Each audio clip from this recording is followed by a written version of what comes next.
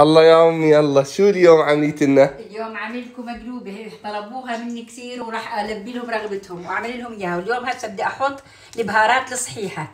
سلام. موجودة. وبحمسها تطلع ريحتها أمي في كثير بيطلب وصفاتك من عندي عيوني. اللي بدهم إياه فوتوا على إنستغرام أنس. الدجاج على البهارات الصحيحة. وبحركها.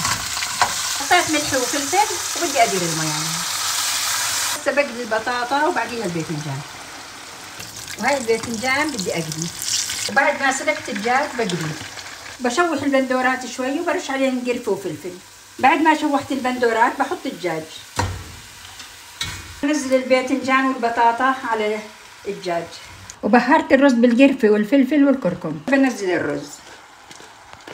حطينا الرز وهسه بنضيف عليه مية الدجاج بسم الله الرحمن الرحيم. وهاي مية الدجاج هاي المقلوبة خلصت وصحتين وعافية. يا عيني. وشوف الجمال. شو رأيك بهالطبخة يعني؟ شو؟ هاي بدها شوي يا أمي. يعني إبداع صحتين- إبداع صحتين وعافية. والله صحتين. إشي بجنن. شوف الدجاج صحتين.